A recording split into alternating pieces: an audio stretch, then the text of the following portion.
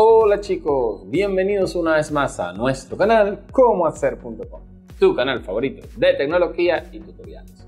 Hoy hablaremos de cómo hacer búsquedas de usuarios en TikTok. Quédate con nosotros para conocer las distintas opciones que ofrece la plataforma. Ahora sin más, comencemos. Bienvenidos a CómoHacer.com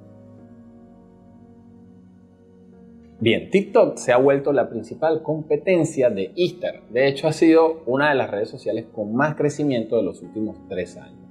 TikTok se ha plantado firmemente para darnos una oportunidad de crecer aunque no tengamos una cuenta demasiado profesional. Ahora bien, en TikTok también podemos hacer amistades tal como lo hacemos en Instagram o en Facebook. Y si nosotros queremos buscar personas en TikTok, podemos hacerlo, aun cuando no sepamos su nombre, ¿ok? De hecho, TikTok nos ofrece un filtro de búsqueda avanzada para poder hacer el rastreo de la persona o el usuario que nos interesa de forma más fácil.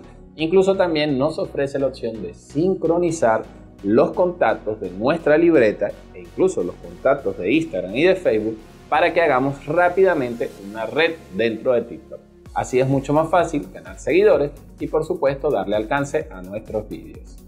Bien, ahora, ¿cómo se hace la búsqueda en TikTok de forma avanzada? ¿Cómo hacemos esas sincronizaciones? Todo esto te lo voy a explicar a continuación. Así que vamos a ver desde mi móvil cómo se hace. Bien, para comenzar lo primero que vamos a hacer es irnos a la sección de búsqueda en TikTok. Ahí vamos a colocar el nombre que nos interese. En este caso yo he colocado Manuel David, un nombre al azar y nos vamos a ir a la pestañita usuario. Nos van a aparecer un montón de Manuel David. Pero si nosotros sabemos que la persona que deseamos seguir quizás tiene pocos seguidores, podemos aplicar el filtro. El filtro lo conseguimos en los tres punticos a la derecha. Entonces aquí podemos poner de 0 a 1000 seguidores, por ejemplo, y nos van a aparecer las cuentas de Manuel David que tienen menos de 1000 seguidores. Luego podemos aplicar más opciones de filtro como cuentas verificadas o gente que quizás conozca para poder hacer una búsqueda mucho más avanzada. Claro, el riesgo está en que puede que no te aparezca nada, como el caso mío, porque obviamente fue una búsqueda al azar. Bien chicos, ahora para lograr que nos descubran a nosotros nos vamos a ir a la sección de privacidad. En la sección de privacidad vamos a buscar el apartado de recomendar nuestra cuenta y sincronizar contactos. Ahí si le damos a recomendar, esto va a permitir que a nosotros nos descubran.